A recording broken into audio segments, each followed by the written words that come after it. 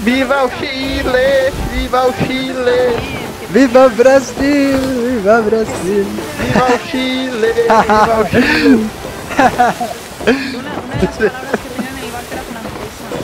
Ai, me diz, me diz uma palavra bem feia aí que vocês falam no Chile. Chile!